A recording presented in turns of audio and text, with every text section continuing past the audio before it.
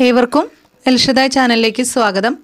ഞാനിന്ന് ക്ലാസ് എടുക്കുന്നത് എക്കണോമിക്സ് ഭാഗത്തു നിന്ന് പ്രധാനപ്പെട്ട ചില ക്വസ്റ്റ്യൻസ് ആണ്. ഇതുവരെ പി എസ് സി ചോദിച്ചിട്ടുള്ള ക്വസ്റ്റ്യൻസും സാധ്യതാ ക്വസ്റ്റ്യൻസുമാണ് നമ്മൾ ഈ ഒരു ക്ലാസ്സിൽ ഷെയർ ചെയ്യുന്നത്. ഈ രീതിയിൽ നമ്മൾ ഒത്തിരി ക്ലാസ്സുകൾ ചെയ്തിട്ടുണ്ട്. പ്രത്യേകിച്ച് H S L T C ഒക്കെ എക്സാം എഴുതുന്ന കുട്ടികൾക്ക് വളരെ ഉപകാരപ്രദമാവുന്ന രീതിയിൽ ഏതാനും എക്സ്പെക്റ്റഡ് ക്വസ്റ്റ്യൻസും അതുപോലെ തന്നെ പി എസ് സി ചോദിച്ചിട്ടുള്ളതുമായ ഒത്തിരി ക്വസ്റ്റ്യൻസ് ഓരോ വിഷയത്തെ ബേസ് ചെയ്ത് നമ്മൾ ക്ലാസ് ചെയ്തിട്ടുണ്ട്. നിങ്ങൾ പ്ലേലിസ്റ്റിൽ ചെന്ന് നോക്കിക്കഴിഞ്ഞാൽ നിങ്ങൾക്കത് കാണുവാനായിട്ട് സാധിക്കും. അപ്പോൾ എത്രയും പെട്ടെന്ന് തന്നെ നമുക്ക് ക്ലാസ്സിലേക്ക് പോകാം. ഈശ്വര പ്രാർത്ഥനയോടെ ഇന്നത്തെ ക്ലാസ് ആരംഭിക്കാം.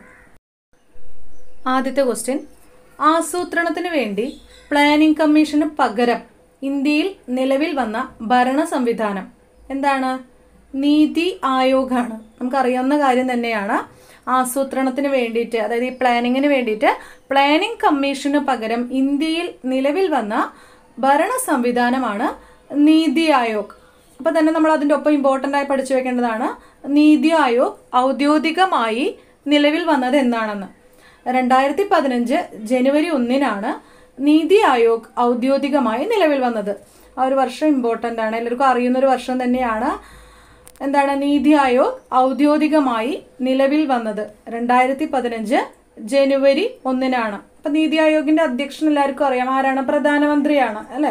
അപ്പൊ നീതി ആയോഗിന്റെ പ്രഥമ അധ്യക്ഷൻ ആരാണ്? നരേന്ദ്രമോദിയാണ്. കാരണം രണ്ടായിരത്തി പതിനഞ്ച് ആ കാലഘട്ടത്തിലാണ്. അപ്പൊ നരേന്ദ്രമോദിയുടെ കാലഘട്ടത്തിൽ തന്നെയാണ് ഇത് വന്നിട്ടുള്ളത്. അപ്പൊ എന്താ? നീതി ആയോഗിന്റെ പ്രഥമ അധ്യക്ഷൻ നരേന്ദ്രമോദിയാണ്. നിലവിലും ആര് തന്നെയാണ് അധ്യക്ഷൻ? നരേന്ദ്രമോദിയാണ് അല്ലെ? ഇപ്പോഴും നരേന്ദ്രമോദി സർക്കാർ തന്നെയാണ് ഭരിച്ചുകൊണ്ടിരിക്കുന്നത്. അതുകൊണ്ട് തന്നെ നിലവിലെ അധ്യക്ഷനും നരേന്ദ്രമോദിയാണ്. അടുത്തത് നീതി ആയോഗിന്റെ പ്രഥമ ഉപാധ്യക്ഷൻ. നീതി ആയോഗിന്റെ പ്രഥമ ഉപാധ്യക്ഷനാണ് അരവിന്ദ് പനഗിരിയ. അരവിന്ദ് പനഗരിയാണ് നീതി ആയോഗിന്റെ പ്രഥമ ഉപാധ്യക്ഷൻ. എന്നാൽ ഇപ്പോഴത്തെ അധ്യക്ഷൻ അതായത് നിലവിൽ നീതി ആയോഗിന്റെ ഉപാധ്യക്ഷൻ ആരാണെന്ന് ചോദിച്ചു കഴിഞ്ഞാൽ അധ്യക്ഷൻ നമുക്കറിയാം നരേന്ദ്രമോദിയാണെന്ന്. എന്നാൽ നീതി ആയോഗിന്റെ നിലവിലെ ഉപാധ്യക്ഷൻ ചോദിച്ചു കഴിഞ്ഞാൽ രാജീവ് കുമാറാണ്. ഓർത്ത് വയ്ക്കുക നിലവിൽ ഇപ്പോൾ ഒരു കറണ്ട് അഫയേഴ്സ് ആണ് അല്ലേ? അപ്പോൾ നീതി ആയോഗിന്റെ നിലവിലെ ഉപ ഉപാധ്യക്ഷൻ ചോദിച്ചു കഴിഞ്ഞാൽ ഡോക്ടർ രാജീവ് കുമാറാണ്. അപ്പം നമ്മൾ ഈ ഒരു രണ്ടായിരത്തി ഇരുപത്തൊന്ന് കാലഘട്ടത്തിലൊരു ക്ലാസ്സാണ് ഈ വർഷങ്ങൾ കഴിഞ്ഞിട്ട് ഈ ക്ലാസ് കേൾക്കുന്നവരുടെ കാര്യമല്ല ഇപ്പോഴത്തെ ഒരു കറണ്ട് ആയിട്ടുള്ള കാര്യമാണ് നമ്മൾ പറഞ്ഞത്. എന്താ പറയുന്നത്? നീതി ആയോഗിന്റെ പ്രഥമ അധ്യക്ഷൻ നമ്മൾ പറഞ്ഞു നരേന്ദ്രമോദിയാണ്. നീതി ആയോഗിന്റെ പ്രഥമ ഉപാധ്യക്ഷൻ ആരാണെന്ന് പറഞ്ഞു? അരവിന്ദ് പനഗിരിയാണ്. എന്നാൽ നീതി ആയോഗിന്റെ നിലവിലെ അധ്യക്ഷൻ ആര് തന്നെയാണ് നരേന്ദ്രമോദിയാണ്. എന്നാൽ നീതി ആയോഗിന്റെ നിലവിലെ ഉപാധ്യക്ഷൻ ഡോക്ടർ രാജീവ് കുമാറാണ്. അപ്പം ഇപ്പോഴത്തെ ഈ ഒരു നീതി ആയോഗിന്റെ ഉപാധ്യക്ഷൻ ആരാണ്? ഡോക്ടർ രാജീവ് കുമാറാണ്. ഡോക്ടർ രാജീവ് കുമാറാണ് ഇപ്പോഴത്തെ നിലവിലെ നീതി ആയോഗിന്റെ ഉപാധ്യക്ഷൻ. Next India the emerging giant എന്ന പുസ്തകത്തിന്റെ രചയിതാവ്. ഇന്ത്യ ദ എമർജിങ് ജെയിന്റ് എന്ന പുസ്തകത്തിന്റെ രചിതാവ് അരവിന്ദ് പനഗിരിയാണ്. അതായത് പ്രഥമ ഉപാധ്യക്ഷൻ നില നീതി ആയോഗിന്റെ പ്രഥമ ഉപാധ്യക്ഷനായ അരവിന്ദ് പനഗിരിയുടെ ഒരു പുസ്തകമാണ് ഇന്ത്യ ദ എമർജിങ് ജെയിന്റ് എന്നുള്ളത്. ഇന്ത്യ ദ എമർജിങ് ജെയിന്റ് അടുത്തത് നീതി ആയോഗിന്റെ പ്രഥമ സിഇഒ നീതി ആയോഗിന്റെ പ്രഥമ സിഇഒ ആണ് സിന്ധുശ്രീ ഗുള്ളറാണ്. നീതി ആയോഗിന്റെ പ്രഥമ സിഇഒ സിന്ധുശ്രീ ഗുള്ളറാണ്. എന്നാൽ നിലവിലെ സിഇഒ ആരാണ്? ആ അമിതാഭ് കാന്താണ്. നീതി ആയോഗിന്റെ നിലവിലെ സിഇഒ അമിതാഭ് കാന്താണ്. അപ്പോൾ പ്രഥമ സിഇഒ സിന്ധുശ്രീ ഗുള്ളറായിരുന്നു. എന്നാൽ ഇപ്പോഴത്തെ നിലവിലെ സിഇഒ ആരാണ്? അമിതാഭ് കാന്താണ്. നീതി ആയോഗിന്റെ നിലവിലെ സിഇഒ എന്ന് പറയുന്നത് അമിതാഭ് കാന്താണ്. അമിതാഭ് കാന്താണ് നിലവിൽ നിലവിലെ ഉപാധ്യക്ഷനാരാണ് രാജീവ് കുമാറാണ്. നീതി ആയോഗിന്റെ നിലവിലെ സിഇഒ ആണ് അമിതാഭ് കാന്ത്. അടുത്ത ക്വസ്റ്റ്യൻ നീതി ആയോഗ് പ്രസിദ്ധീകരിച്ച sustainable development goals India index two thousand twenty twenty വണ്ണിൽ ഒന്നാമതെത്തിയ സംസ്ഥാനം. നീതി ആയോഗ് പ്രസിദ്ധീകരിച്ച sustainable development goals India index two thousand twenty twenty വണ്ണിൽ ഒന്നാമതെത്തിയ സംസ്ഥാനം കേരളമാണ്. അപ്പം നീതി ആയോഗിന്റെ അവർ പ്രസിദ്ധീകരിച്ചിട്ടുള്ള sustainable development goals India index two thousand twenty twenty വണ്ണിന്റെ ഒന്നാമതെത്തിയ സംസ്ഥാനം എന്ന് പറയുന്നത് കേരളമാണ്. അടുത്ത ക്വസ്റ്റ്യൻ ഇന്റർനാഷണൽ മോണിറ്ററി ഫണ്ടിന്റെ ചീഫ് ഇക്കണോമിസ്റ്റ് പദവിയിലെത്തിയ ആദ്യ വനിത. അതായത് ഐ എം എഫിന്റെയാണ് ഇന്റർനാഷണൽ മോണിറ്ററി ഫണ്ടിന്റെ ചീഫ് ഇക്കണോമിസ്റ്റ് പദവിയിലെത്തിയ ആദ്യ വനിത ഗീത ഗോപിനാഥാണ്. ഐ എം എഫിന്റെ ചീഫ് ഇക്കണോമിസ്റ്റ് എന്ന പദവിയിലെത്തിയ ആദ്യ വനിതയാണ് ഗീത ഗോപിനാഥ്. അടുത്ത ക്വസ്റ്റ്യൻ.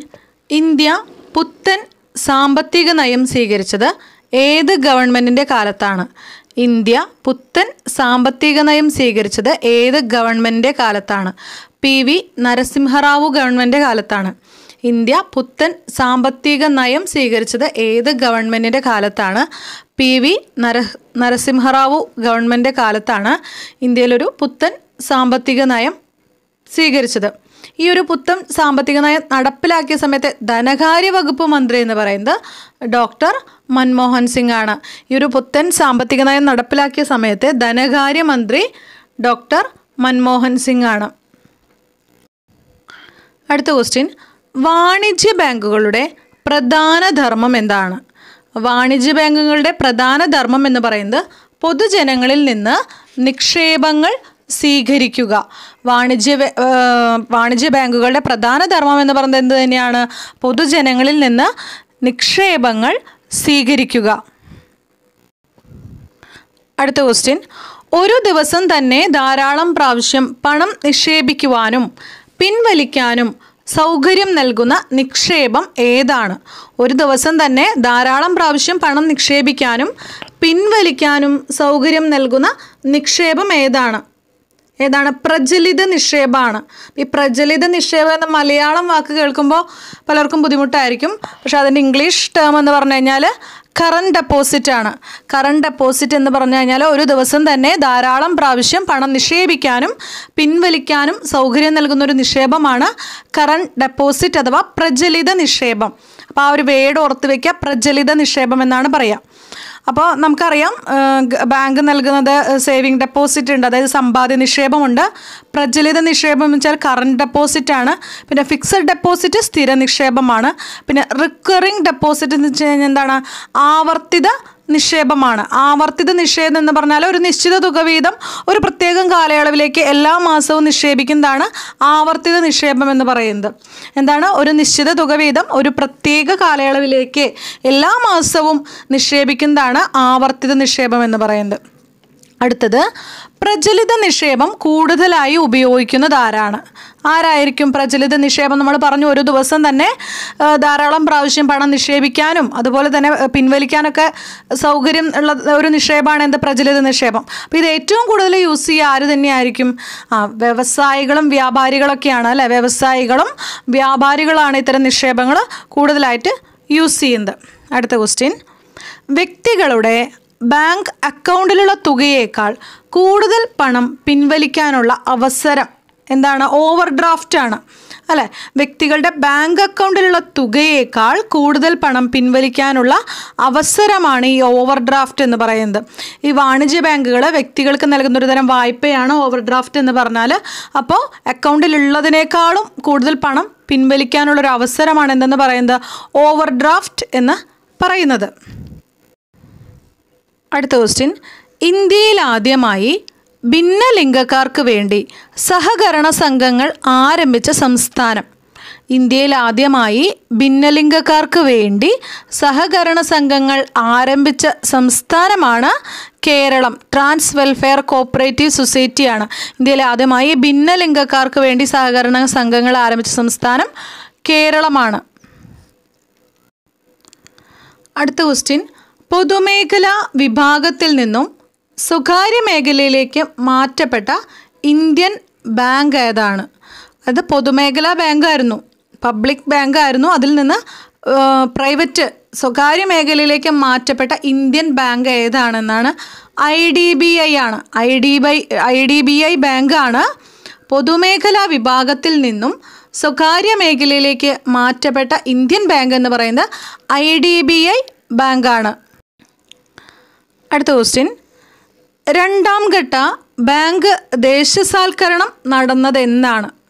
രണ്ടാം ഘട്ട ബാങ്ക് ദേശസാൽക്കരണം നടന്നത് ആയിരത്തി തൊള്ളായിരത്തി എൺപത് ഏപ്രിൽ പതിനഞ്ചിനാണ്. ആയിരത്തി തൊള്ളായിരത്തി എൺപത് ഏപ്രിൽ പതിനഞ്ചിനാണ് രണ്ടാം ഘട്ട ബാങ്ക് ദേശസാൽക്കരണം നടന്നത്. അപ്പോൾ ഒന്നാം ഘട്ട ബാങ്ക് ദേശസാൽക്കരണം നടന്ന എല്ലാവർക്കും ഒരു ഇത് അറിയുമായിരിക്കും. ഏതാണ്? ആയിരത്തി തൊള്ളായിരത്തി അറുപത്തി ഒമ്പത് ജൂലൈ പത്തൊമ്പതിനാണ്. ആയിരത്തി തൊള്ളായിരത്തി അറുപത്തി ഒമ്പത് ജൂലൈ പത്തൊമ്പതിനാണ് ഒന്നാം ഘട്ട ബാങ്ക് ദേശസാൽക്കരണം നടക്കുന്നത്. ആ ഒരു സമയത്ത് പതിനാല് ബാങ്കുകളാണ് ദേശസാൽക്കരിച്ചത്. എന്നാൽ രണ്ടാം ഘട്ടത്തിൽ ആറ് ബാങ്കുകളെ ദേശസാൽക്കരിച്ചിട്ടുള്ളൂ. എന്നാണ് രണ്ടാം ഘട്ടം നടക്കുന്നത്. ആയിരത്തി തൊള്ളായിരത്തി എൺപത് ഏപ്രിൽ പതിനഞ്ചിനാണ് രണ്ടാം ഘട്ട ബാങ്ക് ദേശസാൽക്കരണം നടക്കുന്നത്. എന്നാണ് രണ്ടാം ഘട്ട ബാങ്ക് ദേശസാൽക്കരണം നടന്നത്. ആയിരത്തി തൊള്ളായിരത്തി എൺപത് ഏപ്രിൽ പതിനഞ്ചിനാണ്. രണ്ട് ഇയറും ഇമ്പോർട്ടന്റ് ആണ്. കൂടുതൽ ചോദിച്ചു കണ്ടിട്ടുള്ളത് ഒന്നാം ഘട്ടമാണ്. അതുകൊണ്ട് രണ്ടാം ഘട്ടം ചോദിക്കില്ല എന്നല്ല സാധ്യതയുണ്ട്. ഒന്നാം ഘട്ടം ഒരുപാട് തവണ ചോദിച്ചതുകൊണ്ട് രണ്ടാം ഘട്ടത്തിന് സാധ്യതയുണ്ട് അല്ലേ? അപ്പോൾ രണ്ടാം ഘട്ടം ബാങ്ക് ദേശസാൽക്കരണം നടന്നത് ആയിരത്തി തൊള്ളായിരത്തി എൺപത് ഏപ്രിൽ പതിനഞ്ചിനാണ്. അന്ന് ആറ് ബാങ്കുകളാണ് ദേശസാൽക്കരണം നടത്തുന്നത്. അപ്പോൾ ഈ ഒരു രണ്ടാം ഘട്ട ദേശസാൽക്കരണം നടക്കുമ്പോൾ അതായത് ബാങ്കിന്റെ മൂലധനം എന്ന് പറയുന്നത് ഇരുന്നൂറ് കോടി ഇരുന്നൂറ് കോടി മൂലധനമുള്ള ബാങ്കുകളെയാണ് രണ്ടാം ഘട്ടത്തിൽ ദേശസാൽക്കരിച്ചത്. എന്നാൽ ഒന്നാം ഘട്ടത്തിൽ അമ്പത് കോടി രൂപ മൂലധനമുള്ള ബാങ്കുകളെയാണ് ദേശസാൽക്കരിച്ചത്. അപ്പോൾ ഈ രണ്ട് ഇയറും ഓർത്ത് വയ്ക്കുക ഇമ്പോർട്ടന്റ് ആണ്. അപ്പോൾ ഒത്തിരി ബാങ്കുകൾ ഇങ്ങനെ ദേശസാൽക്കരണം നടന്നു എന്നൊക്കെ നമ്മൾ പറഞ്ഞു. പിന്നീട് രണ്ടായിരത്തി ഇരുപത് ഏപ്രിലൊക്കെ ഒരുപാട് ലയനങ്ങളും നടന്നിട്ടുണ്ട് ബാങ്കുകൾ. അപ്പം നിലവിൽ അപ്പോൾ ഒത്തിരി ബാങ്കുകൾ ദേശസാൽക്കരിച്ചപ്പോൾ നമ്മുടെ ആദ്യത്തെ കണക്കിൽ തന്നെ ഇരുപത് ബാങ്കുകൾ ദേശസാൽക്കരണം നടന്നു. പക്ഷേ നിലവിൽ ഇന്ത്യയിലെ പൊതുമേഖല ബാങ്കുകളുടെ എണ്ണം എന്ന് പറയുന്നത് പന്ത്രണ്ടാണ്. നിലവിൽ ഇന്ത്യയിലെ പൊതുമേഖലാ ബാങ്കുകളുടെ എണ്ണം എന്ന് പറയുന്നത് പന്ത്രണ്ടാണ്. അപ്പോൾ ആ ഒരു കണക്ക് ഓർത്ത് വെക്കുക. നിലവിൽ ഇന്ത്യയിലെ പൊതുമേഖലാ ബാങ്കുകളുടെ എണ്ണം എന്ന് പറയുന്നത് പന്ത്രണ്ടാണ്. ഞാൻ ഈ ബാങ്കുകളുമായി ബന്ധപ്പെട്ടൊരു ക്ലാസ് ഇട്ടിട്ടുണ്ട്. ഓവറോൾ ഉള്ള ബാങ്കിന്റെ കാര്യങ്ങളോ അതിനെക്കുറിച്ചൊരു ക്ലാസ് ഇട്ടിട്ടുണ്ട്. കേട്ടറ്റിന്റെ സമയത്തിട്ടൊരു ക്ലാസ്സാണ്.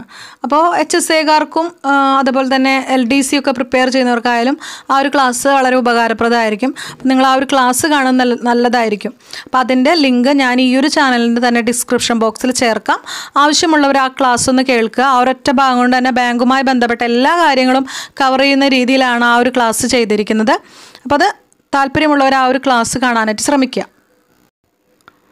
അടുത്ത ക്വസ്റ്റ്യൻ ഇന്ത്യയ്ക്ക് പുറത്ത് ഏറ്റവും കൂടുതൽ രാജ്യങ്ങളിൽ ശാഖകളുള്ള ബാങ്ക് ഇന്ത്യയ്ക്ക് പുറത്ത് ഏറ്റവും കൂടുതൽ രാജ്യങ്ങളിൽ ശാഖകളുള്ള ബാങ്കാണ് സ്റ്റേറ്റ് ബാങ്ക് ഓഫ് ഇന്ത്യ ഇന്ത്യയ്ക്ക് പുറത്ത് ഏറ്റവും കൂടുതൽ രാജ്യങ്ങളിൽ ശാഖകളുള്ള ബാങ്ക് ഏതാണ്? സ്റ്റേറ്റ് ബാങ്ക് ഓഫ് ഇന്ത്യയാണ്. ഇന്ത്യയ്ക്ക് പുറത്ത് ഏറ്റവും കൂടുതൽ രാജ്യങ്ങളിൽ ശാഖകളുള്ള ബാങ്കാണ് സ്റ്റേറ്റ് ബാങ്ക് ഓഫ് ഇന്ത്യ. അതുപോലെ തന്നെ ഇസ്രായേലിൽ ശാഖയുള്ള ഒരു ബാങ്കാണ് അതായത് സ്റ്റേറ്റ് ബാങ്ക് ഓഫ് ഇന്ത്യ എന്ന് പറയുന്നത്. അടുത്തത് എൽ ഡി സിയിൽ ചോദിച്ചിട്ടുള്ള ഒരു ക്വസ്റ്റ്യൻ ആണ് അതായത് ആയിരത്തി തൊള്ളായിരത്തി ഇരുപത്തി ഒന്നിൽ നിലവിൽ വന്ന ഇംപീരിയൽ ബാങ്ക് ഓഫ് ഇന്ത്യയുടെ ഇപ്പോഴത്തെ പേര്. എന്താണ്? സ്റ്റേറ്റ് ബാങ്ക് ഓഫ് ഇന്ത്യ എന്നാണ്. ആയിരത്തി തൊള്ളായിരത്തി ഇരുപത്തി ഒന്നിൽ നിലവിൽ വന്ന ഇംപീരിയൽ ബാങ്ക് ഓഫ് ഇന്ത്യയുടെ ഇപ്പോഴത്തെ ഇപ്പോഴത്തെ പേര് സ്റ്റേറ്റ് ബാങ്ക് ഓഫ് ഇന്ത്യ എന്നാണ്. അപ്പോൾ ഈ സ്റ്റേറ്റ് ബാങ്ക് ഓഫ് ഇന്ത്യയുടെ മുമ്പത്തെ പേരെന്താണ്? ഇംപീരിയൽ ബാങ്ക് എന്നാണ്. നിലവിൽ വന്നത് എപ്പോഴാണ്? ആയിരത്തി തൊള്ളായിരത്തി ഇരുപത്തി ഒന്നിലാണ് ഈ ഒരു ഇംപീരിയൽ ബാങ്ക് നിലവിൽ വരുന്നത്. അതിന്റെ ഇപ്പോഴത്തെ പേരാണ് സ്റ്റേറ്റ് ബാങ്ക് ഓഫ് ഇന്ത്യ എന്ന് പറയുന്നത്. അടുത്തത് വനിതാ ശാക്തീകരണം ഇന്ത്യയുടെ ശാക്തീകരണം എന്നത് ഏത് ബാങ്കിന്റെ മുദ്രാവാക്യമാണ്? മഹിളാ ബാങ്കിന്റെയാണ് അപ്പോൾ ഈ മഹിളാ ബാങ്കൊക്കെ ഇപ്പോൾ എന്താ പറയുക ലയനം കഴിഞ്ഞതാണ്. അപ്പോൾ അതായത് രണ്ടായിരത്തി പതിനേഴ് ഏപ്രിൽ ഒന്നിന് ഈ ഭാരതീയ മഹിളാ ബാങ്ക് എസ് ബി ഐയിൽ ലയിക്കുകയാണ് ഉണ്ടായത്. ഭാരതീയ മഹിളാ ബാങ്ക് രണ്ടായിരത്തി പതിനേഴ് ഏപ്രിൽ ഒന്നിന് എസ് ബി ഐയിൽ ലയിച്ചു. അപ്പോൾ ഈ ഒരു കോഡ്സ് വെച്ചാൽ വനിതാ ശാക്തീകരണം ഇന്ത്യയുടെ ശാക്തീകരണം എന്താ ഏത് ബാങ്കിന്റെ മുദ്രാവാക്യമാണെന്ന് ചോദിച്ചു കഴിഞ്ഞാൽ ഏതാണ്? മഹിളാ ബാങ്കിന്റെ മുദ്രാവാക്യമാണ്.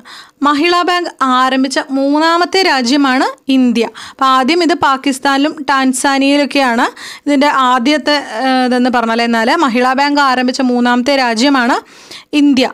കേരളത്തിൽ മഹിളാ ബാങ്കിന്റെ ആദ്യ ശാഖ നിലവിൽ വന്നത് എവിടെയാണ്? തിരുവനന്തപുരത്തുള്ള മണ്ണാക്കാടാണ്. തിരുവനന്തപുരത്തുള്ള മണ്ണാക്കാടാണ് ഈ ഒരു മഹിളാ ബാങ്കിന്റെ ആദ്യ ശാഖ വന്നത്. ഇന്ത്യയിലാണെങ്കിൽ ഇത് ഇന്ത്യയിൽ ഇതിന്റെ ആദ്യത്തെ ബ്രാഞ്ച് വരുന്നത് മുംബൈയിലാണ്. ഇന്ത്യയിൽ ഈ ഒരു ഭാരതീയ മഹിളാ ബാങ്കിന്റെ ആദ്യ ശാഖ വരുന്നത് മുംബൈയിലാണ്. ഇപ്പം അത് ഞാൻ പറഞ്ഞു അതായത് എസ് ബി ഐയിൽ ലയിച്ചു. ഇപ്പോൾ രണ്ടായിരത്തി പതിനേഴ് ഏപ്രിൽ ഒന്നിന് ഭാരതീയ മഹിളാ ബാങ്ക് എസ് ബി ഐയിൽ ലയിച്ചു. അടുത്ത ക്വസ്റ്റ്യൻ ഇന്ത്യൻ ബാങ്ക് മേഖലയിൽ ബിഗ് ഫോർസ് ബിഗ് ഫോർസ് എന്നറിയപ്പെടുന്ന ബാങ്കുകൾ ഏതൊക്കെയാണ്? ഏതൊക്കെയാണ്? എസ് ബി ഐ ഉണ്ട് ഐ സി ഐ ഉണ്ട് I C I C I ഉണ്ട് പഞ്ചാബ് നാഷണൽ ബാങ്ക് ഉണ്ട് H D F C bank ഉണ്ട്. ഏതൊക്കെയാണ്? S B I I C I C I Punjab national bank H D F C bank ഇതൊക്കെയാണ് big fours Indian banking മേഖലയിൽ big fours എന്നറിയപ്പെടുന്ന ബാങ്കുകളാണ് I C I C I H D F C. പിന്നെ ഏതാണ്? S B ഐയും Punjab national ബാങ്കുമാണ്. ഇന്ത്യയിൽ mobile A T M mobile A T M അവതരിപ്പിച്ച ആദ്യ ബാങ്കാണ് I C I C I bank. ഇന്ത്യയിൽ മൊബൈൽ എ ടി എം അവതരിപ്പിച്ച ആദ്യ ബാങ്കാണ് I C I C I. ഇപ്പം ഇന്ത്യയിലൊരു മൊബൈൽ എ ടി എം അവതരിപ്പിച്ച ആദ്യ ബാങ്കാണ് I C I C I. അടുത്തത് പോക്കറ്റ്സ് എന്ന പേരിൽ മൊബൈൽ ഫോണുകളിൽ ഡിജിറ്റൽ ബാങ്കിംഗ് സംവിധാനം ആരംഭിച്ച ബാങ്ക് കൂടിയാണ് I C I C I. എന്താണ്? പോക്കറ്റ്സ് എന്ന പേരിൽ മൊബൈൽ ഫോണുകളിൽ ഡിജിറ്റിംഗ് ബാങ്കിംഗ് സേവനം ആരംഭിച്ച ബാങ്കാണ് I C I C I. ഓർത്തോളൂ pockets എന്ന പേരിൽ മൊബൈൽ ഫോണുകളിൽ ഒരു ഡിജിറ്റൽ ബാങ്കിങ് സേവനം ആരംഭിച്ച ബാങ്കാണ് I C I C I. അടുത്ത ക്വസ്റ്റ്യൻ കേരളത്തിലെ ആദ്യത്തെ ബാങ്ക് ഏതാണ്? നെടുങ്ങാടി ബാങ്കാണ് സ്ഥാപിച്ച് സ്ഥാപിച്ചത്. അപ്പു നെടുങ്ങാടിയാണ്. അപ്പോൾ ദക്ഷിണേന്ത്യയിലെ ആദ്യ ഒരു സ്വകാര്യ ബാങ്ക് എന്ന് ചോദിച്ചാലും ഏത് തന്നെയാണ്? ഈ നെടുങ്ങാടി ബാങ്കാണ്. അപ്പോൾ കേരളത്തിലെ ആദ്യത്തെ ബാങ്കാണ് അപ്പു നെടുങ്ങാടി സ്ഥാപിച്ച നെടുങ്ങാടി ബാങ്ക് ഈ ഒരു ബാങ്ക് സ്ഥാപിക്കുന്നത് ആയിരത്തി എണ്ണൂറ്റി തൊണ്ണൂറ്റി ഒമ്പതിലാണ് എപ്പോഴാണ്? ആയിരത്തി എണ്ണൂറ്റി തൊണ്ണൂറ്റി ഒമ്പതിലാണ് അപ്പു നെടുങ്ങാടി ഇങ്ങനൊരു ബാങ്ക് സ്ഥാപിക്കുന്നത്. അപ്പോൾ ഈ ഒരു രണ്ടായിരത്തി മൂന്നിൽ ഈ നെടുങ്ങാടി ബാങ്കിനെ പഞ്ചാബ് നാഷണൽ ബാങ്ക് ഏറ്റെടുത്തു. അപ്പോൾ കേരളത്തിലെ ആദ്യത്തെ ബാങ്ക് അല്ലെങ്കിൽ ദക്ഷിണേന്ത്യയിലെ ആദ്യത്തെ സ്വകാര്യ ബാങ്ക് എന്ന് ചോദിച്ചു കഴിഞ്ഞാൽ ഏതാണ്? നെടുങ്ങാടി ബാങ്കാണ്. അടുത്ത ക്വസ്റ്റ്യൻ. ആർ ആർ ബിയുടെ രൂപീകരണവുമായി ബന്ധപ്പെട്ട കമ്മിറ്റി ഏതാണ്? ആർ ആർ ബിയുടെ രൂപീകരണവുമായി ബന്ധപ്പെട്ട കമ്മിറ്റിയാണ് നരസിംഹം കമ്മിറ്റി. ആർ ആർ ബിയുടെ രൂപീകരണവുമായി ബന്ധപ്പെട്ട കമ്മിറ്റിയാണ് നരസിംഹം കമ്മിറ്റി എന്ന് പറയുന്നത്. അപ്പോൾ ആർ ആർ ബി എന്ന് പറഞ്ഞാൽ എന്താണ്? റീജിയണൽ റൂറൽ ബാങ്ക്സ് ആണ് അല്ലെ? ഗ്രാമീണ ബാങ്കുകളാണ് ഈ ഒരു ആർ ആർ ബി എന്ന് പറയുന്നത്. അപ്പോൾ ഈ ആർ ആർ ബിയുടെ രൂപീകരണവുമായി ബന്ധപ്പെട്ട കമ്മിറ്റി എന്ന് പറയുന്നത് നരസിംഹം കമ്മിറ്റിയാണ്. അടുത്തത് ഇന്ത്യയിലെ ഏറ്റവും വലിയ ഗ്രാമീൺ ബാങ്ക് ഏതാണ്? കേരള ഗ്രാമീൺ ബാങ്കാണ്. ഇന്ത്യയിലെ ഏറ്റവും വലിയ ഗ്രാമീൺ ബാങ്കാണ് കേരള ഗ്രാമീൺ ബാങ്ക്. ഇന്ത്യയിലെ ഏറ്റവും വലിയ ഗ്രാമീൺ ബാങ്ക് ഏതാണ്? കേരള ഗ്രാമീൺ ബാങ്കാണ്. അടുത്ത ക്വസ്റ്റ്യൻ കേരള ഗ്രാമീൺ ബാങ്കിന്റെ ആസ്ഥാനം എവിടെയാണ്? മലപ്പുറമാണ്. കേരള ഗ്രാമീൺ ബാങ്കിന്റെ ആസ്ഥാനം എന്ന് പറയുന്നത് മലപ്പുറമാണ്. ഏറ്റവും അധികം ഗ്രാമീൺ ബാങ്കുകളുള്ള സംസ്ഥാനം ഏറ്റവും അധികം ഗ്രാമീൺ ബാങ്കുകളുള്ള ഇന്ത്യൻ സംസ്ഥാനമാണ് ഉത്തർപ്രദേശ്. അപ്പോൾ കേരളത്തിലെ ഗ്രാമീൺ ബാങ്കിന്റെ ആസ്ഥാനം എന്ന് പറയുന്നത് മലപ്പുറമാണ്. എന്നാൽ ഏറ്റവും അധികം ഗ്രാമീൺ ബാങ്കുകളുള്ള സംസ്ഥാനമാണ് ഉത്തർപ്രദേശ്. നിലവിൽ ഗ്രാമീൺ ബാങ്കുകൾ ഇല്ലാത്ത സംസ്ഥാനങ്ങൾ നിലവിൽ ഗ്രാമീൺ ബാങ്കുകൾ ഇല്ലാത്ത സംസ്ഥാനം എന്ന് പറയുന്നത് സിക്കിമും ഗോവയുമാണ്. നിലവിൽ ഗ്രാമീൺ ബാങ്കുകൾ ഇല്ലാത്ത സംസ്ഥാനമാണ് സിക്കിം ഗോവ. അടുത്ത ക്വസ്റ്റ്യൻ ഇന്ത്യയിലെ ആദ്യ സമ്പൂർണ ബാങ്കിംഗ് സംസ്ഥാനം ഏതാണ്?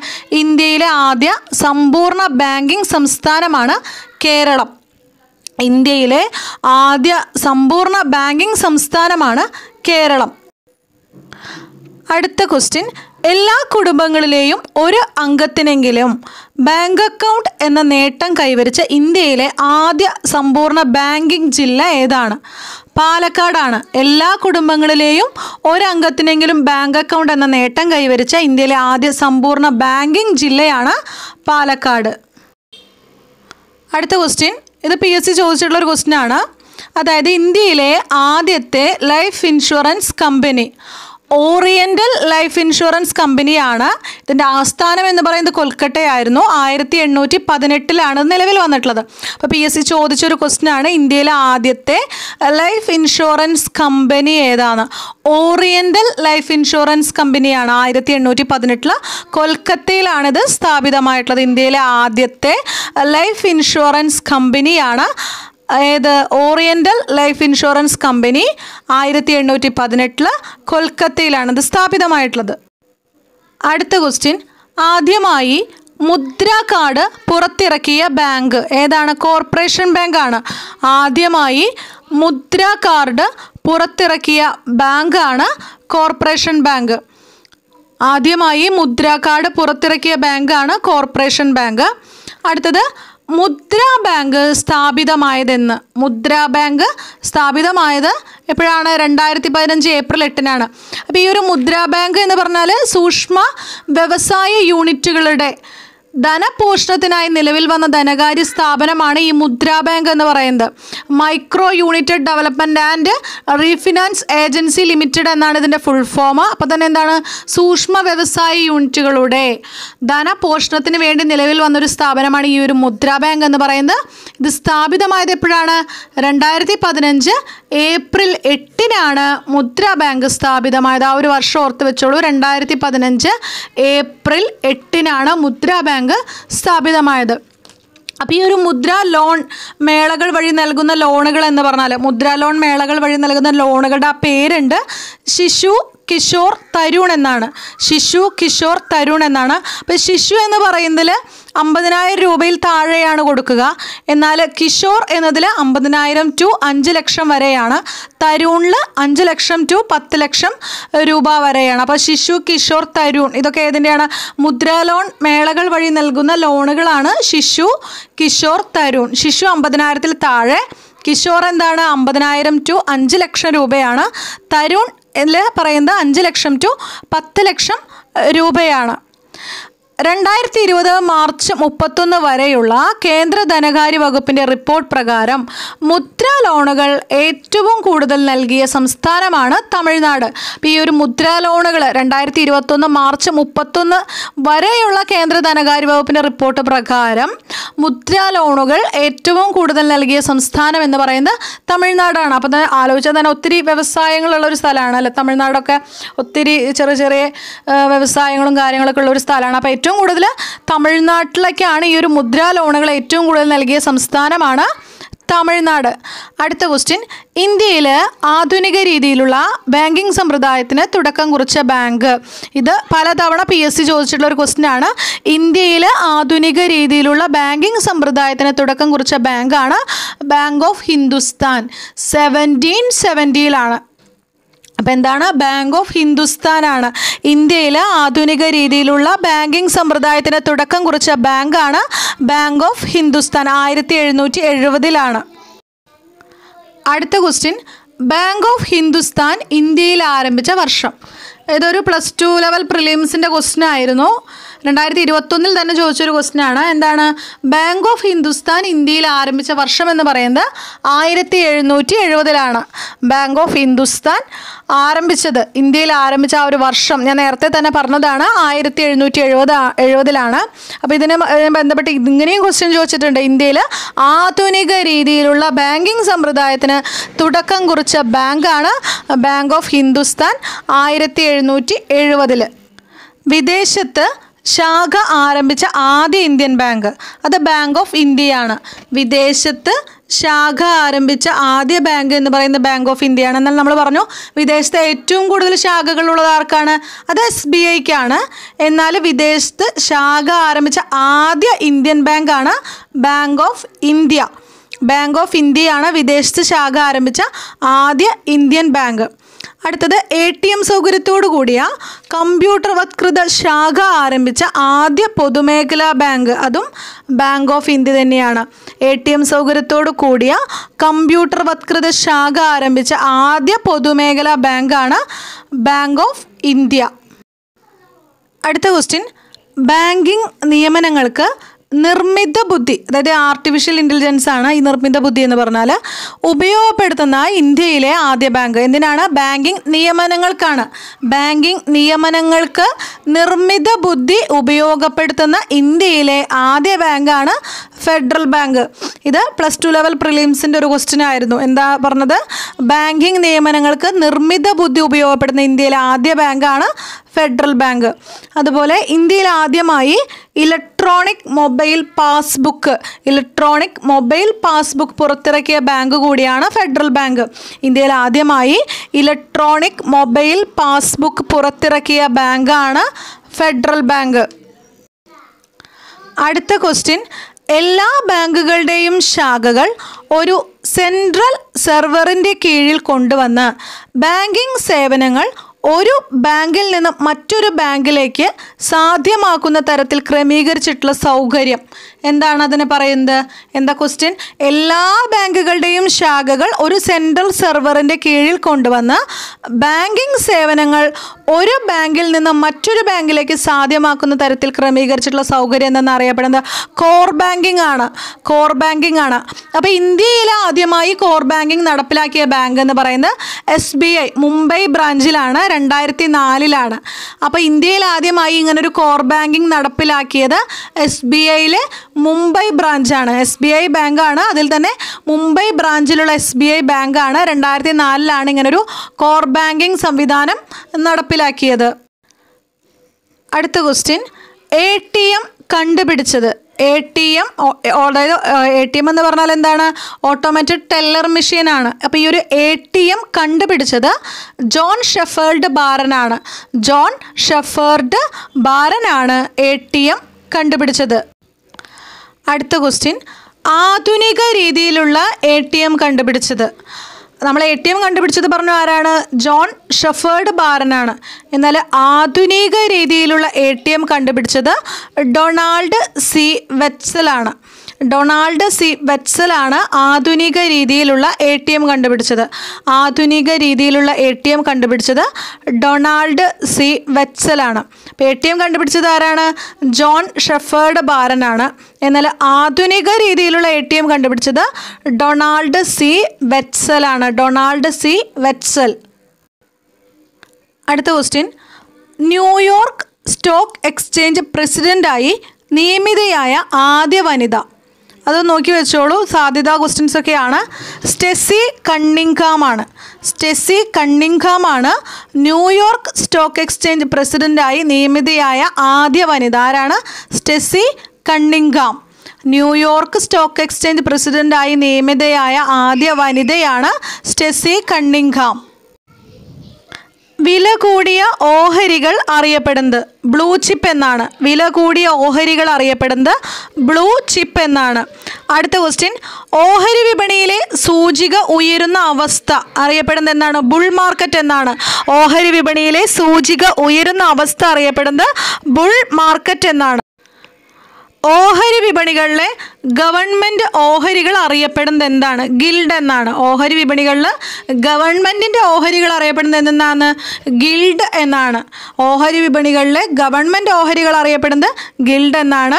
വില കൂടിയ ഓഹരികൾ അറിയപ്പെടുന്നത് ബ്ലൂ ചിപ്പ് എന്നാണ്. ഓഹരി വിപണിയിലെ സൂചിക ഉയരുന്ന അവസ്ഥയാണ് bull market B S C ഓഹരി സൂചിക അറിയപ്പെടുന്ന പേര് ബി എസ് സി ഓഹരി സൂചിക അറിയപ്പെടുന്ന പേരാണ് സെൻസെക്സ് എന്നത്. ബി എസ് സി ഓഹരി സൂചിക അറിയപ്പെടുന്ന പേര് സെൻസെക്സ് എന്നാണ്. അപ്പം ഞാൻ ഇത്രയും ക്വസ്റ്റ്യൻസ് ഉൾപ്പെടുത്തിയിട്ടുള്ളൂ. ഇതിൽ ചിലതൊക്കെ പി എസ് സി ചോദിച്ച ക്വസ്റ്റ്യൻസ് ആണ്. എങ്കിൽ കൂടി കുറച്ച് സാധ്യതാ ക്വസ്റ്റ്യൻസ് ഒക്കെയാണ് ഞാൻ നിങ്ങളായിട്ട് ഷെയർ ചെയ്തിട്ടുള്ളത്. അപ്പം ഞാൻ പറഞ്ഞിരുന്നു അതായത് ധനകാര്യ സ്ഥാപനങ്ങളും സേവനങ്ങളും അതായത് ബാങ്കുമായി ബന്ധപ്പെട്ട് റിലേറ്റ് ചെയ്തിട്ടുള്ള എല്ലാ പോയിന്റ്സും ഉൾക്കൊള്ളിച്ചുകൊണ്ടുള്ള ഒരു ക്ലാസ് ഞാൻ കേട്ടറ്റിന് വേണ്ടി ഇട്ടിട്ടുണ്ട്. ആ ഒരു ക്ലാസ് എന്ന് പറഞ്ഞാൽ എൽ ഡി സിക്കാർക്കായാലും എച്ച് എസ് എക്കാർക്കായാലും ഒക്കെ ഇമ്പോർട്ടന്റ് ആണ്. അപ്പോൾ നിങ്ങൾക്ക് ബാങ്കുമായി ബന്ധപ്പെട്ട എല്ലാ കാര്യങ്ങളും ആ ഒരു ക്ലാസ്സോട് കൂടി കഴിയും. അപ്പോൾ അതുകൊണ്ട് ആ ക്ലാസ് കാണാനായിട്ട് ശ്രമിക്കുക. അപ്പോൾ എല്ലാ പ്രിയ സുഹൃത്തുക്കളും നന്നായി തന്നെ പ്രിപ്പയർ ചെയ്യുക. എല്ലാ പ്രിയ സുഹൃത്തുക്കൾക്കും ശുഭഭാവി നേരുന്നു. എല്ലാവരെയും ഈശ്വരൻ അനുഗ്രഹിക്കട്ടെ എന്ന് ആശംസിക്കുന്നു. താങ്ക്